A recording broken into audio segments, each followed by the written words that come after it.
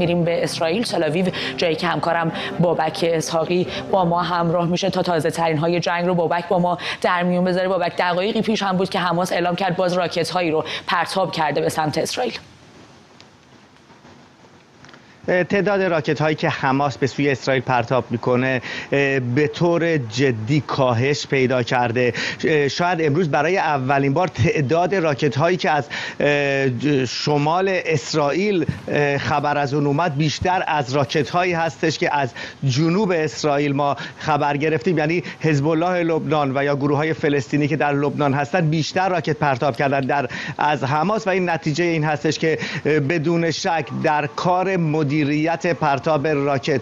از سوی نوار غزه و از سوی سازمان حماس یک نوع خللی در اون وارد شده. در اسرائیل گفته میشه که این نشانه این نیستش که دیگر نتونه موشک پرتاب بکنه حماس. نباید فراموش بکنیم که جنوب نوار غزه هنوز کاملا در دست افراد حماس هست و این اجازه را دارند و می‌تونند که از سوی جنوب نوار غزه به سوی اسرائیل موشک اندازی بکنن اما شمال نوار غزه به طور جدی هنوز تحت حملات شدید اسرائیل هستش. امروز ارتش اسرائیل اعلام کرد که در بیمارستان های شفا رنتیسی و ناصر راه و کریدوری را باز کرده که از اونجا می‌تونن هم بیماران و هم مردم عادی که در اونجاها پناه گرفتن به سوی جنوب غزه برن. گزارش هایی رسیده که بسیاری از افراد توانستند که از اونجا بیرون بیان و همراه دیگر افرادی که به جنوب غزه میرن بین ساعت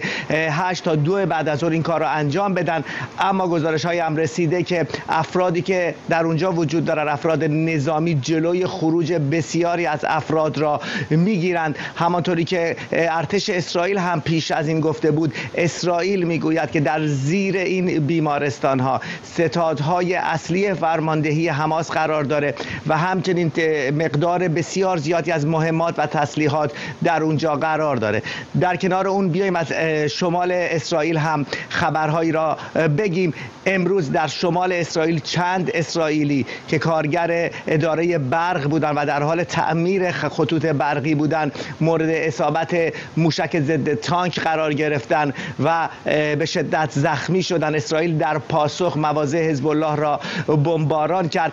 همچنین راکت هایی از سوی همانطوری که گفتم جنوب لبنان به سوی شمال اسرائیل پرتاب شد. به نظر میاد که تنش ها همچنان در حال افزایش است. در شمال اسرائیل دیروز یواف گالانت هشدار داد سه بار هشدار داد که اگر حسن نصرالله بخواهد پای لبنان را وارد این جنگ بکند بدون شک آنچه که در شمال نوار غزه امروز میگذرد به بیروت خواهد رسید و مردم لبنان نرخ اون را خواهند پرداخت. ممنونم ازت. بابک بابک اسحاقی بود. همکارم از تل با تازه ترین ها از جنگ اسرائیل و حماس.